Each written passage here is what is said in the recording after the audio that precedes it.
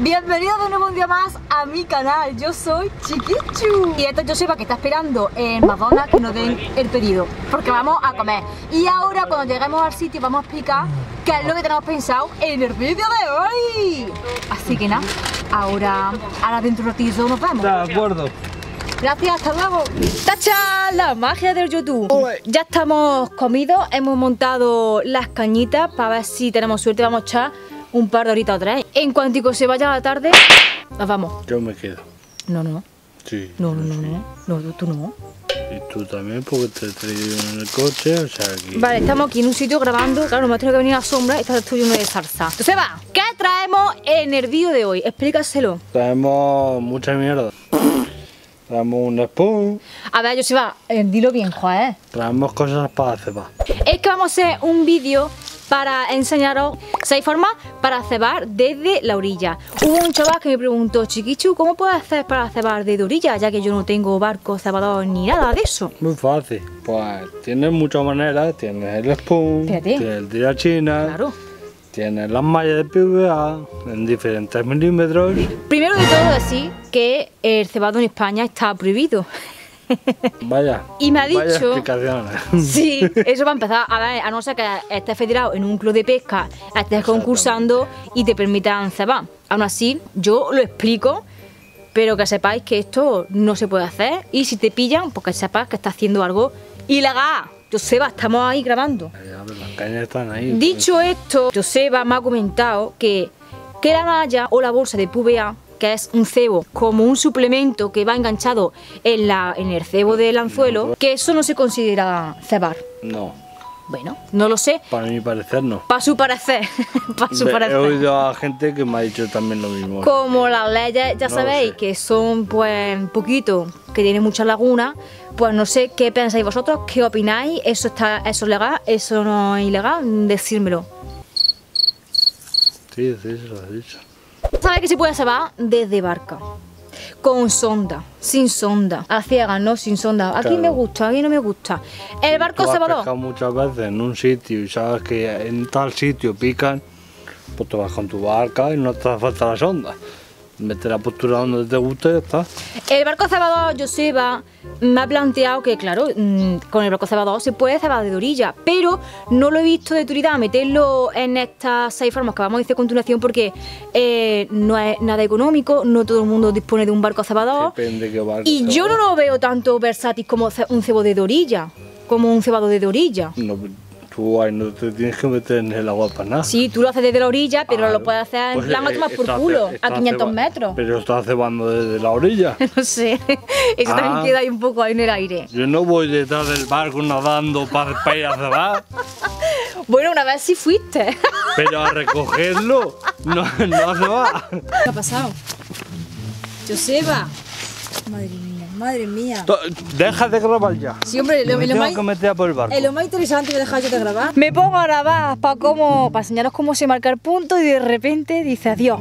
¿Qué metió el barco apagado? Vamos, que se está despegotando aquí y se va a meter en el agüica fresca. Tampoco está tan fría, ¿eh? Pues a bañarse. Chapuzona no se va. Tío, siempre nos tiene que pasar algo. Que hemos echado cuatro cañitas para ver si en este rato nos pica algo. Hemos probado, estamos probando por primera vez, testeando los cebos de, de Car Premium. Bueno, yo más veces. A ver si ha salido, pero yo todavía no lo he probado. Y hemos obvio estado solamente y únicamente por el, por el pellet, ¿vale? Por los hot pellets. Vamos a empezar a deciros los seis tips que nosotros, nosotros tenemos, ¿vale? O nosotros consideramos. Y si se os ocurre alguna otra forma, dejádnoslo en los comentarios. Sí, hay muchas maneras, pero nosotros las que tenemos son estas. ¡Empezamos! ¡Dentro vídeo! Bueno, pues esto es lo llamado cobra. Sirve única y expresamente para lanzar boilies. No me acuerdo, 20 minutos o 22. Este es muy caro. Este justamente le costó 50 pavos. Mira, yo cuando se compró esto, a mí me entró los 7 males. ¿Cómo te pudiste gastar el pastón que se gastó? Tenemos dos cobras. Esto no pesa nada. Un día vamos a hacer la comprobación. Tú lanzando con uno o sea, por ejemplo, con este, Y que tú- tú a vas ver, a lanzar más. Que vamos y yo- a plantar las y carpas. yo con el otro. Sí, solamente sirve para boilie, los peles al no tener forma redonda. Ah, también he lanzado, ¿eh? Sí, pero no, no igual. No, Pero no con este, con el otro. Está Sí, no. Ya sabéis, ¿qué pasa? ¿Que hay un inconveniente que le veo? Pues que hay que tener mucha puntería y mucha práctica para lanzar las bolas en el mismo sitio Sobre todo el rato. Porque a mí antes me pasaba eso era un desastre. Una bola para allá, otra, Otra allí, otra en la orilla, no- otra para otra atrás. que no llegaba. Pero bueno, es un buen método, un, un aparato que tampoco ocupa mucho, así ligerillo, ¿verdad? Aparte que Y lo hay económico. el cebadero que te hace un cobra no es siempre el mismo sitio. O sea, todo rejuntado te hace lo que es un cebadero mucho más grande, Sí, más tendido. más disperso y la verdad que entran mejor las carpas. O sea, confían mucho Y más. si en ves que no, pues le puedes dar un palo a Joseba, Joseba, y le pega un palo. Nuestra segunda técnica de pesca para cebar desde orilla, la opción de el tirachina. El tirachina. Si con el cobra ello era un desastre, el tirachina ya de verdad que mm, Bueno, se pierde todavía. a mí no me gusta. Este, por ejemplo, es el Fox, El cobra, por ejemplo, lanza más lejos que el, que el tirachina. porque la goma, todo, o sea, Además que esto es un peligro. Hemos comprado el tirachina que se nos han roto y este está durando, ¿eh? sí, eh, encima la mejor marca es Fox. Es muy cómodo también para lanzar. Tiene el recubrimiento este que si te vuelves para atrás no te da la mano. Yo esto no lo uso, en verdad. Aquí, ¿qué es lo que echa? En plan, bola suelta, una a una, Puedes apuñado. echar, no, más de 3-4 bolas no puedes poner. Po- en Pero verdad. eso va en plan. Porque ¿no? tú al recoger, ¿qué, qué pasa con la cazuela? Que se recoge, Madre entonces se salen las, las bolas. Puedes Vale. echar unos pocos micropeles, un poco de semilla. No sé, yo el, el tirachina no lo Cosas A mí no me sí. gusta. A mí personalmente no me gusta. Y eso es más para pescar cerca. Sí, porque eso no lanza tampoco muy lejos. Exactamente. El cobra lanza mucho más lejos. hay- Tú sabes lo que pesa una semilla, que una semilla no pesa nada. Pues tú imagínate lanzar una semilla. No puedes. No puede Nuestra siguiente técnica, pescando desde orilla. Las Malla mallas de PVA. y las bolsas de PVA que las hemos metido Exacto. en el mismo lote. No hemos traído bolsa, hemos traído nada más que malla. Por ejemplo, tenemos nosotros esta que es de 24, 25 metros. De malla y de bolsa podéis encontrar infinidad de marcas, infinidad de, De diámetros. de diámetros. Yo suelo utilizar estos dos diámetros. ¿Qué diferencia hay entre una malla y una bolsa? Yo las bolsas cuando las hago meto dentro el plomo. No me gusta tampoco mucho porque el tema mm, échale saliva, eso está muy malo. Y yo sé. A mí me gusta mucho más el manejo con las mallas. Puede hacer mallas, por ejemplo, con micropeles, con boilies triturados, Con con con semillas. Porque hay semillas friendly, por ejemplo la de Particle for Fishing, que es estupenda para este tipo de cosas, porque esto se deshace con el agua, esto es biodegradable, porque son de PVA. Hay las típicas bombas que le llaman, que es malla. Joder, que tenemos una de malla muy grande. Y eso es para concentrar la comida Pero- en un punto. Pero yo eso no lo veo como un método de lance desde la orilla, más bien Desde barca. desde barca para que se te queden bolas concentradas en el barca, fondo. barco cebador, También. todo, todo eso. Me cabe la mano. Voy a coger este normal. Muy rica, muy gorda. O sea, pedazo de malla. Este tipo de malla con la caña, obviamente, no lo voy a lanzar. Esto, eh, o bien, o así, fium, con el brazo, o con, con barca y ese tipo de cosas, pues también mola, ¿sabes? Pero que no veas tú el pedazo de malla de 60 milímetros. Muy fuerte. Eso, granadas. ¡Eh! ¡De la otra mierda! La historia es que este tipo de malla tan grande no es recomendable para lanzarlos desde la orilla porque, aparte que no llegan lejos, yo soy ¿qué estás haciendo sentado? Eso es para echarlo desde la barca o desde un barco cebador. La siguiente técnica para lanzar desde orilla es eh, un material parecido a la malla de PVA. Me refiero al hilo. Y es que el hilo de PVA es como una versión más barata. Es como la malla, pero el hilo Es de un una hilo. malla. Es un hilo. Os voy a dejar aquí imágenes. Nosotros tenemos este hilo que es de AliExpress, más finito, y luego este que es de. Creo que era de la marca Rimmon, que no me haga mucho caso. Os voy a dejar la imagen por aquí, ¿vale?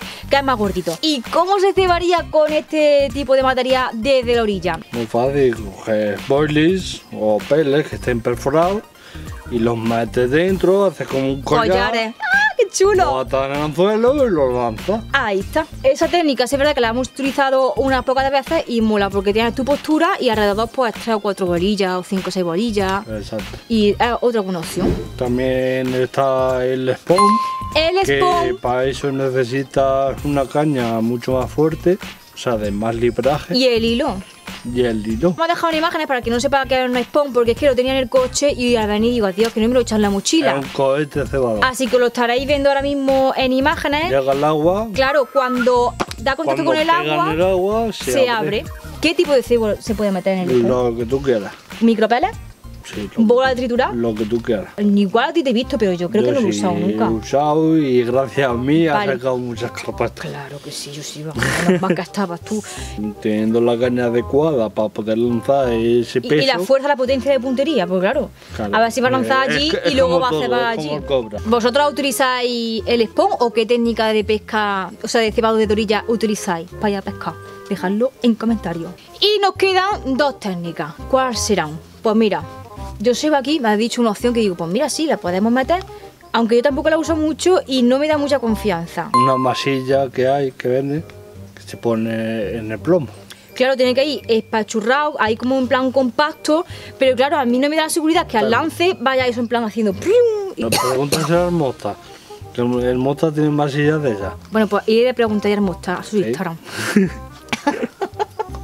Anda, que vaya explicaciones, ¿eh? Una masilla que se pega y se va deshaciendo poco a poco en el agua, ya está. Eso es lo que es olor. Como última técnica, eh, no sé si meterla o no, porque esto no va relacionado mucho con el car fishing, pero eh, a partir de que el chaval me preguntase la duda que tuvo en Instagram y me diera la idea para hacer este vídeo, me preguntó y me mencionó eh, pues, el tipo espiral este que hay, que se ha utilizado toda la vida haciendo masilla con patata cocida, en godo, y tú lo metes en el espiral ese, o voy a dejar una foto porque yo sé verdad que eso no lo tengo ni lo he usado, y tú lo metes, un pero lo he visto, y hay gente que practica la pesca de la carpa y lo utiliza. Sí, pero. Ya no te digo que sea carfishing. Mm, Yo al carfishing no lo he visto, la verdad. El feeder suele utilizar mucho. Es otra opción. Para quien no tenga pues, el spawn, el cobra u otra cosilla de estas, otro utensilio de estos, pues si tenéis eso, que a lo mejor económico, lo pilláis en los chinos y tenéis la masilla, lo pegáis ahí,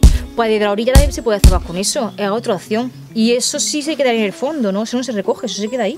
Se queda pegado hasta que se despega o se deshace. Pues ya está, hasta aquí nuestra explicación de las técnicas que se utilizan para pescar de orilla. Bueno, hay muchas más técnicas, lo que pasa es que nosotros lo que utilizamos ahora mismo es esto. Es esto. Y la de la- que la de la que espiral, ¿no? gigantes, que van así con Sí, una palos, catapulta de esa, esa. catapulta de esa que le llaman. Claro, una catapulta. Ya que Pero faltaba ya- llevarme a Ya pescar. eso es para concursos que tienes que llegar muy lejos, en fin. Que eso existe. Sí. No me puedo creer. Sí, sí. Coña de la derecha igual tiene una picalla.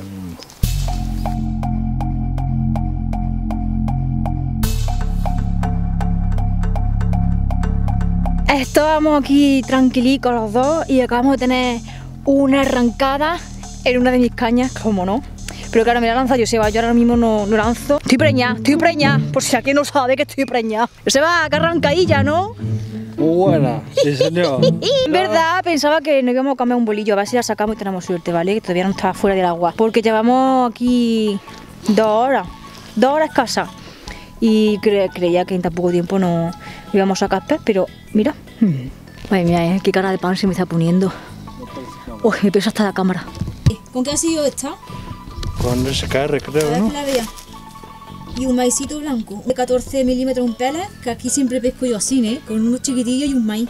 Esta, esta es la capturilla, la verdad que eh, mi estado ahora mismo me está costando un poquillo tenerla así entre la postura mía y, el pesito de la carpa. Y nada, por lo menos hemos estrenado los, los peles, que hemos venido a probarlo con mucha ilusión y hemos tenido un resultado. Y muy bueno, bastante bueno, la verdad, para lo que hay aquí. Sacar esta carpita me puede muy contenta. Hasta aquí el vídeo de hoy, ya hemos podido cambiar un poquito el plano porque se ha bajado el sol y, y estamos mejor ya aquí en la sombrica. Espero a que os haya resultado útil el vídeo. Yo si no se levanta porque ya lleva mucho rato de pie y no lo vamos a pedir más. Ya, está bien, ¿sabes? Como he dicho antes, si se os ocurre alguna otra técnica de cebado desde orilla, me lo dejáis por aquí. A ver, yo sepa que se le ha ocurrido a última hora otro método. Irte con el cubo y se va con la mano. Muy bien, yo sigo. Viene punto para ti. Muchas gracias por ver este vídeo, como siempre, suscribiros y darle a la campanita para que YouTube notifique cada vez que subamos un vídeo. Muchas gracias por ver este vídeo, me despido. Dale a like. Dale a like, me despido y... ¡Adiós! ¡Chao! ¡Suscríbete! ¿Es 110? Sí. Vamos a ver, Josiva, prueba de sonido. ¿Cómo que dónde nos ponemos? ¿Dónde va con la silla que vamos a grabar? Pero que no, ya estamos igual que siempre. Chao. ¿Y aquí dónde meto? Espérate, espérate. Suscríbete. Ese. ¿Eh? Me queda pillado. Oye, no estaría borrosa, ¿no? Vete un poco para allá, es que ahí, que estamos centrados. Ay, mato. No, yo sé, levántate. No, aquí. Yo no he visto a esta criatura que le gusta estar más sentado, pero porque es que no lo entiendo. Vale, no chillo. Esta es la hora buena. Ahora bueno. No me jodas. Tú verás. Cuenta. Claro que sí, se va, claro que sí.